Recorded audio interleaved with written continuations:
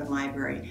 Thanks for joining us today for a quick presentation on our January craft, which is this nice soft little pillow. There's no sewing involved, so it's real easy. Um, first, stop by the library, pick up a craft kit. Inside the kit, you'll find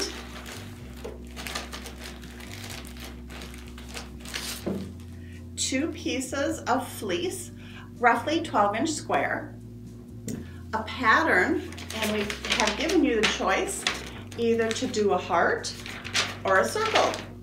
So cut out whichever one you choose. And then you have a pile of fluffy stuff for stuffing your pillow. Now I have a couple here halfway done to give you um, some instruction. And because I completed a heart, I decided for this example, I would use a circle. So I cut out the circle from the pattern provided and I pinned it to the um, first square of fleece. Now, it's important to probably pin it because if you try to trace, you're going to have pen marks and those will show up because you do see the little ends um, of the pillow, so they will show. So in order not to have pen marks, I would pin it and the paper patterns are 11 inches and we've given you 12 inches of fleece just so you have a little extra room. And I would, I would cut a little bit bigger to utilize every bit of fleece you have. Um, just remember to also do it with the second second square. So once you've cut out two circles or two hearts, whichever you choose, again, I use pins to pin them together a little bit um, because when you're cutting the fringe, you'll want, you'll want them to line up. So here I've put in a couple of pins on my, on my two circles. Then I grab my scissors, and I've already done this, but I cut about an inch and a half and about an inch wide, I cut little fringe like this. Like I said, about an inch and a half long and about a half inch wide. And I did use my ruler. This does not have to be exact, so don't, don't be worried about it being exact. But every once in a while, I would check to see that I'm about an inch and a half long because then when you cut all the way around your circle, you're gonna begin tying, tying the ends.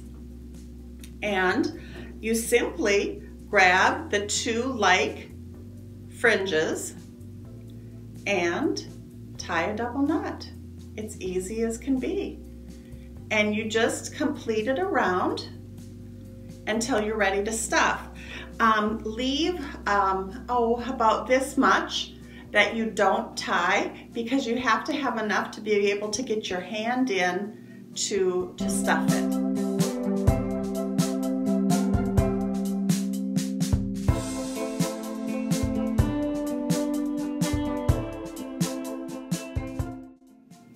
Okay, so now we have tied in double knots. Make sure that each one is a double knot. We have tied mostly around our circle except for enough for me to get my hand in.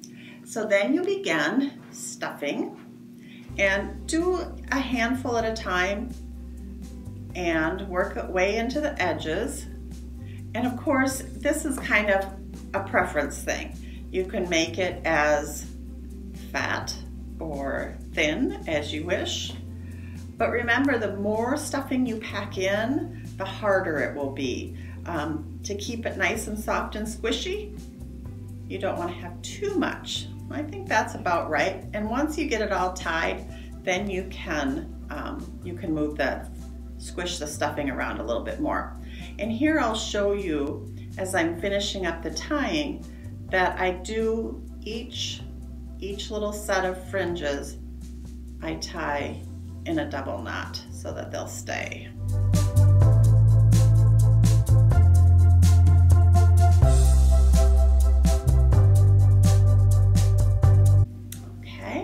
I have tied my last double knot and I have a little circle, a little round pillow, and I can squish my fluff in here to make it all even.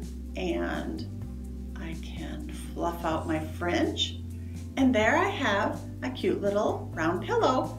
And of course, like I said, the other side of the pattern is a heart pillow.